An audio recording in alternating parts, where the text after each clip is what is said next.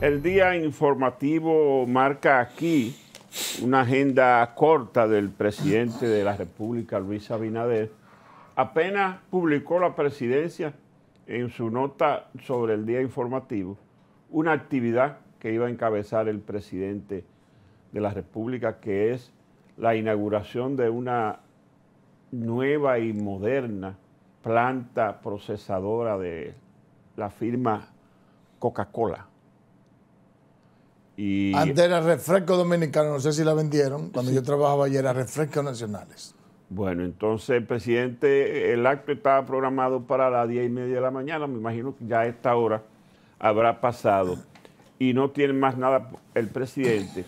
Y le pregunté a uno de mis contactos en Palacio, eh, y el presidente para dónde va de ahí, eh, como en hora de la tarde. Dice, no, el presidente está muy concentrado preparando el discurso del próximo lunes, que es 27 de febrero, el día no laborable, y por consiguiente el presidente va a llevar su memoria del pasado año y es un acto protocolar donde el protocolo eh, tiene eso diseñado, el presidente va allá y pronuncia su discurso, presenta su memoria y sirve también para hacer contacto con los sectores de su gobierno, los invitados, como que son los miembros de la iglesia, el cuerpo diplomático, los altos militares.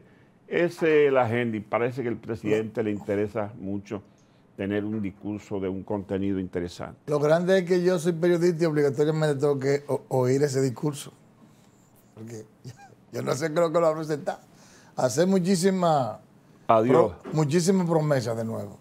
A prometer cosas, a prometer cosas que ya prometí que no ha hecho. Eso es lo que va a hacer. Usted sabe que, yo pienso que pudiera anunciar el presidente ahí. Va a hablar de Cabo Rojo. No, que ya, pudieran usar de, una pendejada que pasó una y ya se desbarató. De la reforma fiscal integral. Bueno, pero ya eso para, para el próximo gobierno a partir de. Pero eso no es memoria.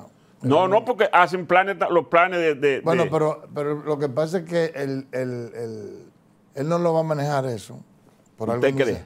O por imposible. Él no va a manejar ese tema en, en, en un en un, evento como ese, mucho menos en ya febrero, a, tres meses de las elecciones, como estamos, porque se sabe que el tema fiscal es un tema odioso. Es un tema odioso porque él pone ese tema y la gente va a empezar a preguntar, ¿y a quién le van a poner impuestos? ¿Sabes que a nadie le gusta que le pongan impuestos? Y mucho menos porque todas las reformas fiscales que se han hecho, la clase media siempre está así, porque casi siempre la clase media que maltratan con eso. Y él no puede decir ahora que no va a defender a la clase media porque eh, eh, estamos hablando de un gobierno que dice, bueno, fíjense la cantidad de fideicomisos que hay, eh, o de alianza público-privada. Dice, bueno, él. Pero en sentido general, ¿qué me va a decir? Que la economía creció un 2.4%. O que yo hice Monte Grande, me van a meter la guayaba de nuevo. Voy a tener que soportar eso. Mire, hablando, hablando del presidente, ahora que usted lo menciona, y yo vinculando a lo de la encuesta Barómetro de las Américas, que a la gente supuestamente lo que le preocupa, y yo estoy confundido, a, los dominicanos le preocupa el tema económico. Pero tomando en consideración eh, no se puede sobrellevar la las variables que hemos mencionado de que, bueno, hubo uso de los fondos del Estado, eh, hubo cierta dejadez de parte de la oposición en el proceso, pero la verdad es que mayoritariamente votaron por, votaron por el gobierno.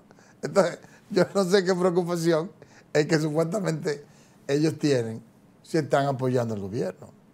Porque de alguna manera esas preocupaciones de economía, que ciertamente es verdad, porque la pena creció un 2.3%, pero, pero las preocupaciones de que, de que la economía va por mal camino, de que la delincuencia va por mal camino, de que le preocupa el tema de la corrupción, de que le preocupa el tema de la energía eléctrica, etcétera, etcétera, etcétera. Por la forma en que votaron en esta ocasión por el gobierno, pues yo diría que la gente percibe lo que dice el presidente Luis Abinader y dicen todos los funcionarios, que estamos de maravilla, que estamos avanzando. Yo no lo pienso así, pero por las votaciones tengo que pensar que es así. Entonces, ¿qué, yo pienso? O que, o que fue demasiado impactante el tema de, de el dinero que se manejó, de que fueron a, a votar todos los PRMistas, de que fueron a votar todos los empleados del gobierno, todas las nuevas botellas, todos los nuevos pensionados, que es otra, una forma, eh, eh, otra forma de botella, yo no sé. Pero si yo verifico la votación, no se compadece con lo que dice esa, porque de alguna manera debió de manifestarse esa preocupación de los dominicanos en esa recién publicada encuesta que sale en el día de hoy. Bueno, ¿qué le digo? Mire, Mundo, le, decía que el presidente está trabajando en eso de, del discurso, porque el mes termina. Yo voy a hablar con Dani para ver si me, si, me sonera el, lunes. Porque eh, eh, el, discurso es el lunes, que es 27, ¿verdad? Sí, sí. Pero el martes 28 termina el mes. Sí. Y entonces ya ahí mismo viene la Semana Santa. Sí, sí, sí. Ya yo, ayer vi unos kits de las habichuelas con dulce que están vendiendo en los supermercados. Muy interesante, pero muy caro. Tan caro. Sí. No, porque la comida está carísima. El que yo Usted lo sabe que la comida está carísima. El que yo vi cuesta como 1.600 pesos. Barato me los hallo. No, barato. Dentro de, dentro de una semana va a estar más caro. Anote el precio. Y usted verá. Dentro de una semana va a estar Eso sí, que tiene de todo. Tiene desde habichuelas, azúcar, sí, pero, pasa, pero, mil y pico batata. Sí, pero mil y pico pesos. leche. Eso no es para cualquiera, ¿no? Sí, 1600. 1600 maracas son, son 1600. Usted no lo da. bueno, si fuera por mí, no, pero Lady lo compra. pero ella, ella la hace. Yo imagino que entonces la compra. Usted sí se queja. No, yo no me quejo, yo le digo la verdad. ¿Usted o no está cara? Dígame a mí, la, dígame en la cara que no está cara. Yo cuando lo vi, porque tiene una presentación bonita en, una, en, una, en una caja plástica, transparente, y se ve todo los productos. Realmente el gobierno no le ha podido dar respuesta a ese problema. Es tan tal, don Freddy, que el único funcionario que fue buchado cuando fue a votar fue Kelvin, Kelvin ¿cómo se llama el de, el, de Kelvin Cruz, no que llama? No, no, Kelvin Cruz fue el más votado. No, no, no, no. El, ministro de, Agricultura. Ah, pero eh, eh, eh, ese Cruz también, hermano de Kelvin. Ah, ellos son hermanos. Sí. Ah, bueno. Pues entonces fíjese, oiga, para que usted vea, para que usted vea qué tan molesta está la gente con el tema de los alimentos. Kelvin Cruz fue el más, fue el más votado. Sí, sí, sí. Y sin embargo, su hermano, cuando fue a votar, lo bucharon. ¿Por qué? Porque lo ha hecho mal. Lo ha hecho muy mal. Yo no sé cuál es el más malo de todos. no, pero si, uno piensa, si uno piensa en Fulcar. Yo, pienso. Uno piensa en Fulcar o piensa en el ministro de Energía. que el ministro de Agricultura eh, ha sido un buen ministro. ¿Un buen ministro?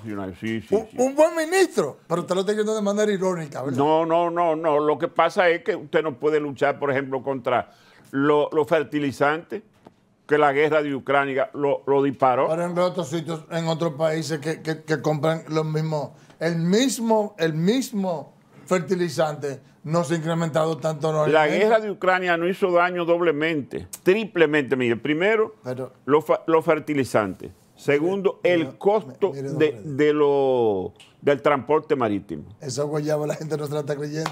Mire, se nos, terminó, se nos terminó el tiempo. Señores, gracias. Hasta mañana.